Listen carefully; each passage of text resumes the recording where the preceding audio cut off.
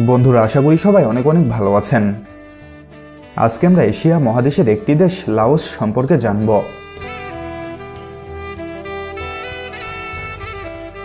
লাওসের সরকারি নাম Lao people's Democratic Republic. এটি এশিয়া মহাদেশের দক্ষিণ পূর্ব অংশে অবস্থিত একটি স্থল বেষ্টিত দেশ।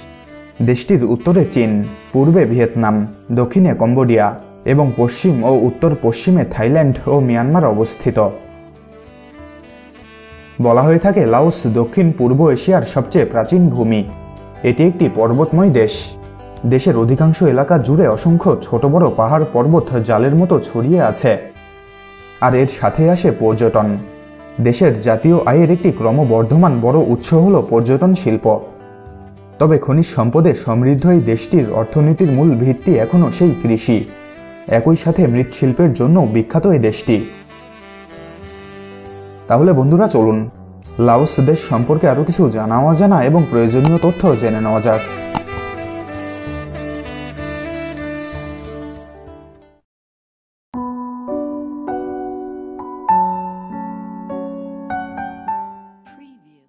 বর্তমানে লাওস নামের যে দেশটি, তাদের আদি অধিবাসীরা মূলত দক্ষিণ চীন থেকে আসে।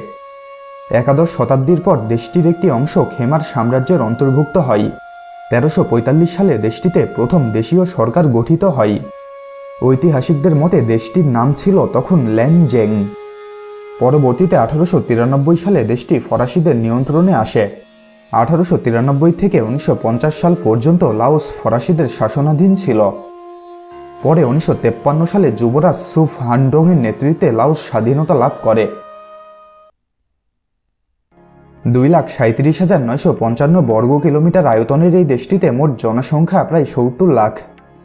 আয়তনের দিক দিয়ে এটি বিশ্বের বিরাশিতম দেশ। লাওসের সরকারি ভাষা লাও। এছাড়া ফরাসি, ইংরেজি এবং অনেক উপজাতীয় ভাষা এখানে চালু আছে। তবে ইংরেজিতে বলতে এবং লিখতে পারে এরকম মানুষের সংখ্যা খুবই কম। দেশটির সংখ্যাগরিষ্ঠ মানুষের ধর্ম বৌদ্ধ ধর্ম। দেশের প্রায় ছিয়াষট্টি শতাংশ মানুষ এই ধর্মের অনুসারী।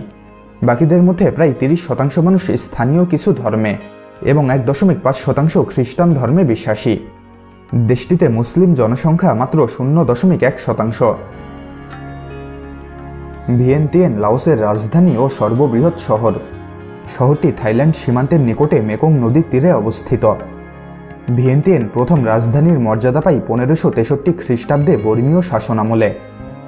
ভিয়েন্তিয়ান ফরাসি শাসনের সময়ও এই অঞ্চলের রাজধানী ছিল এবং অর্থনৈতিক সমৃদ্ধির কারণে এখনও এটি লাওসের অর্থনীতির কেন্দ্রবিন্দু। শহরটির বর্তমান মোট জনসংখ্যা প্রায় আট লাখ বিশ হাজার। পুরো লাওসের অর্থনৈতিক পরিবর্তনের পেছনে চালিকা শক্তি হিসেবে কাজ করে এই ভিয়েনতিয়েনের অর্থনৈতিক সমৃদ্ধি। সাম্প্রতিক বছরগুলিতে শহরটি বিদেশি বিনিয়োগ থেকে দ্রুত অর্থনৈতিক প্রবৃদ্ধি অর্জন করেছে। তবে ভিয়েন্তিয়েন এখনও একটি ছোট শহর হলেও অনেক বিদেশি পর্যটককে আকর্ষণ করে। শহরে অনেক দর্শনীয় মন্দির এবং বৌদ্ধ নিদর্শন রয়েছে। গ্রীষ্মমণ্ডলীয় আবহাওয়ার দেশ লাওস। মে থেকে নভেম্বর বর্ষার মৌসুম। ডিসেম্বর থেকে এপ্রিল শুকনো আবহাওয়া বিরাজ করে। স্থানীয় ঐতিহ্য অনুযায়ী ঋতুগুলো হলো বর্ষা, শীত ও গ্রীষ্ম। লাওসকে বলা হয় সম্পদের ভাণ্ডার। এশিয়ার মধ্যে একমাত্র লাওসের পাহাড় পর্বত ও বন জঙ্গলগুলোই অক্ষত অবস্থায় আছে। তবে অবাক হওয়ার বিষয়, এই পাহাড়ি বনভূমিগুলোতে বন্য পশু পাখির উপস্থিতি নেই বললেই চলে। এর পেছনের কারণ হিসেবে অনুমান করা হয়, এ দেশের লোকজন পিঁপড়া থেকে শুরু করে সকল ধরনের বন্য জীবজন্তু শিকার করে খেতে অভ্যস্ত। হাতির দেশ লাওস। দেশটির গ্রামাঞ্চলে প্রতিটি পরিবারই গরু বা গবাদি পশুর মতো করে হাতি পালেন। বর্তমানে লাওসে বন্য হাতির সংখ্যা প্রায় চারশোটি এবং গৃহপালিত হাতির সংখ্যা চারশো পঞ্চাশটি। সংরক্ষিত এলাকার বন্য হাতি বিদেশি পর্যটকদের জন্য দেখার ব্যবস্থা রয়েছে। নারী জাগরণ ও তাদের অধিকার প্রতিষ্ঠায় বিশ্বের বিভিন্ন দেশে এখনও চলছে নানা আঙ্গিকে আন্দোলন। কিন্তু কতকাল আগে থেকে যে লাওসে নারীদের অঘোষিত রাজত্ব চলছে তার কোনো পরিসংখ্যান নেই।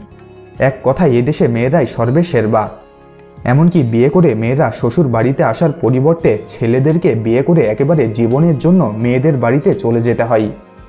অর্থাৎ পুরুষতান্ত্রিক সমাজে যা হয় তার ঠিক উল্টো হয় লাওসে। এই সমাজে বৌদ্ধ ভিক্ষুদের অনেক কদর।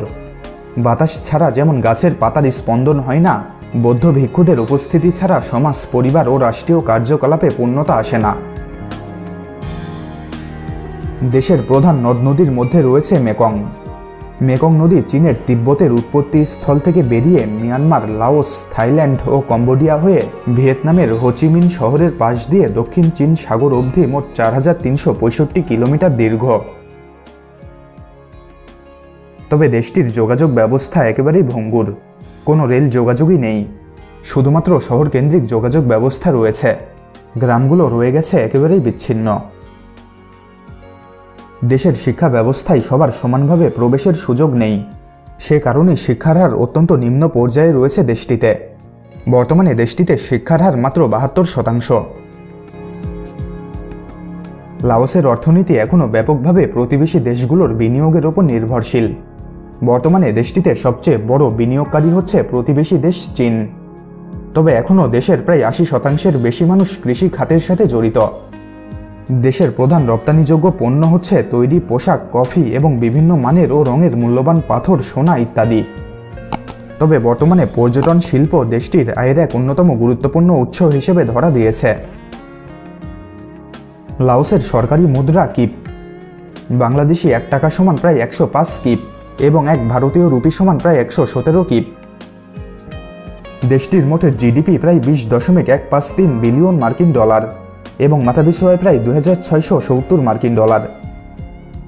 লাওসের ডায়ালিং কোড হচ্ছে প্লাস আট পাঁচ ছয়। তাহলে বন্ধুরা, আজকের মতো এখানেই বিদায় নিচ্ছি। নিয়মিত চ্যানেলটির আপডেট পেতে চ্যানেলটি সাবস্ক্রাইব করে রাখুন। আর ভিডিওটি ভালো লেগে থাকলে ভিডিওটিতে একটি লাইক দেবেন, আর ভালো না লেগে থাকলে তো ডিসলাইক বাটন আছেই। ভিডিওটি বন্ধুদের সাথে শেয়ার করতেও কিন্তু ভুলবেন না। ভালো থাকবেন, ধন্যবাদ।